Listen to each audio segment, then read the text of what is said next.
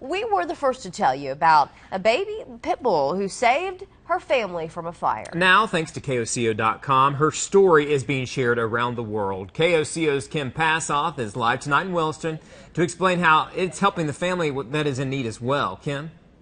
Well, Paul and Jessica, this is Baby the Pit Bull, and it is hard not to fall in love with this face. Now, just two days ago, Baby rescued two women from this trailer that you see right there when it was on fire.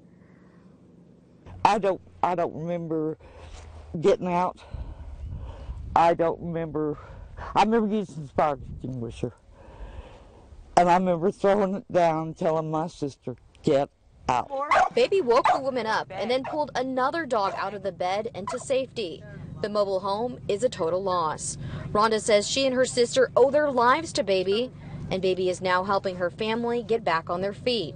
After we told you about Baby's heroic actions, donations have been coming in from people who connect with this lovable pit bull. The fact that she's my dog, I mean, wow. We're, we're proud of her. We're proud that she's getting the recognition she deserves.